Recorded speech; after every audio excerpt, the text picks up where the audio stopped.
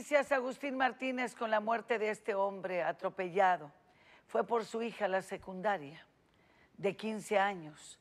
Tanto que le decimos a los padres de familia, vayan por sus hijos, eh, ya sea a la escuela, ya sea a alguna fiesta.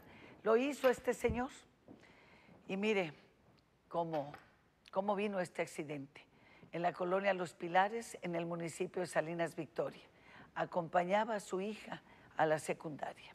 Agustín, te vemos, te escuchamos. ¿Qué pasó?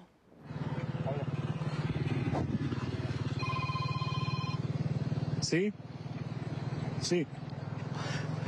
Muy buenas tardes, licenciada Luis Carlos. Un saludo eh, para toda la gente que nos está sintonizando en este momento. Nos encontramos en el municipio de Salinas Victoria, Nuevo León.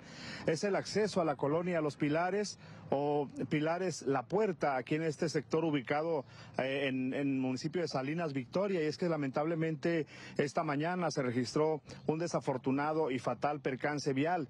Resulta que un hombre que empujaba o se desplazaba en una bicicleta acompañando a su hija de 15 años con rumbo a la secundaria fue impactado y proyectado varios metros por una camioneta y al final de cuentas la persona perdió la vida. Es decir, el padre de la niña estudiante de secundaria falleció en este sitio y bueno, pues eh, queda sin vida sobre la carpeta asfáltica, la bicicleta completamente destruida y la camioneta que observamos en este lugar, pues también eh, con daños principalmente en la parte frontal. El accidente ocurre cuando eh, el hombre y la niña, cuyos nombres hasta este momento no han sido revelados, se desplazaban hacia la escuela secundaria por una de las orillas de esta avenida, Calzada del Sol, que es el principal acceso hacia la colonia Los Pilares, justo a la altura de Los Pilares La Puerta, un fraccionamiento de reciente construcción. La camioneta conducida por una mujer eh, que hasta el momento no ha sido identificada por las autoridades, pero ya se encuentra detenida, avanzaba aparentemente a exceso de velocidad por Calzada del Sol, se va de largo en la curva e impacta eh, a las personas, o más bien al que empujaba la bicicleta, al padre de familia.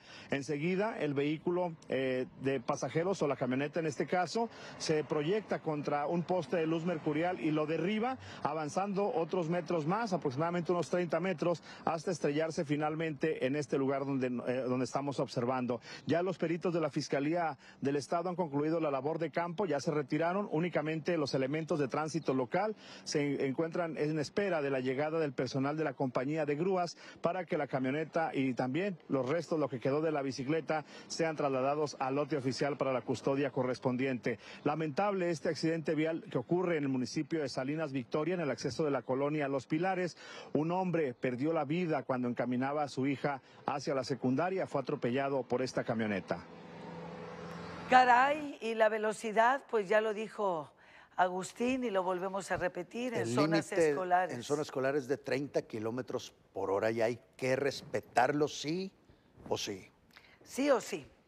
Qué lamentable esto. Compañero, muchas gracias. Con esta imagen nos vamos al corte comercial.